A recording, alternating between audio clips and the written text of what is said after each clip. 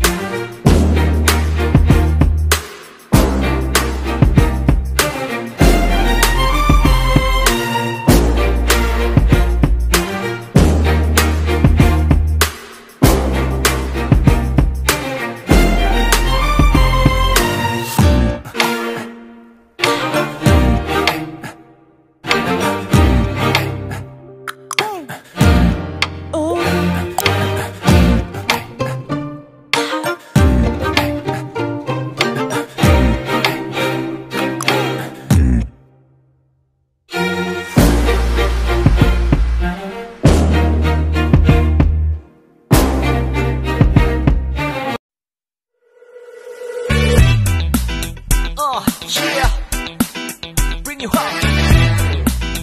Yeah, come on. 그랬던 나를 와바뀌게 한 건 너 나를 거울 앞에서 서성이게 만든